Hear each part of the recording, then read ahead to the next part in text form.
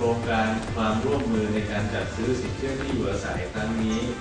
เป็นความร่วมมือในการจัดซื้อสินเชื่อที่อยู่อาศัยในวงเงินหนึ่งหมื่นล้านบาทสิ้นสุดในวันที่ 30 ธันวาคม 2557 เพราะจากการร่วมมือนี้จะสามารถสร้างประโยชน์ให้แก่ภาคส่วนต่างๆได้ เช่น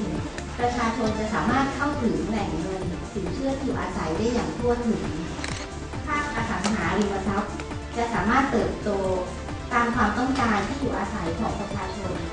เท่าที่เราเห็นนะครับก็โครงการต่างๆของ Developer เนี่ยเขาก็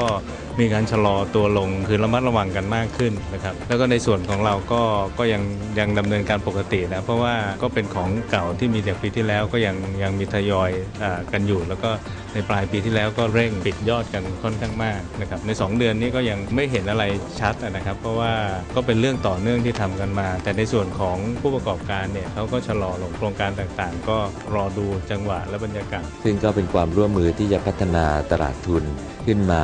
แล้วก็ส่งเสริมให้ประชาชนมีที่อยู่อาศัยเป็นของตนเอง แล้วก็มีการพัฒนาสถาบันการเงินให้สามารถปล่อยสินเชื่อได้อย่างต่อเนื่อง โดยมีการนำสินเชื่อบ้านไปให้กับผู้ลงทุนกระจายการลงทุนไปสู่ผู้ลงทุนรายย่อย